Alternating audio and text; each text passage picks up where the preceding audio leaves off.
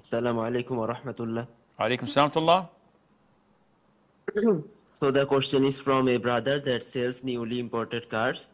Now they themselves don't don't provide any loan system directly. If anyone wants to buy buy, they pay the full amount upfront.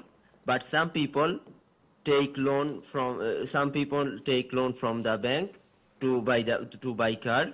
Now the thing is the bank is not just going to give them a loan, so they need a written quotation from the seller to uh, seller to show, show to the bank to get their loan.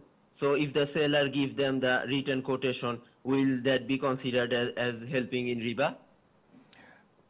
Giving a written quotation of the product I am selling is permissible, and if it was used to get a interest-based loan, the sin is on the person who got it. This mug is being sold for $10. Someone asks me, Can I get a quotation? I said, Sure. Here's the quotation.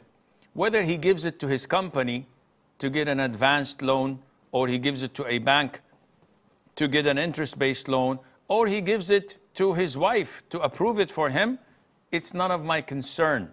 I didn't assist him on haram. It is his doing of doing it. I just gave him a quotation of how much this mug I'm selling for would cost cash, and this is halal, inshallah.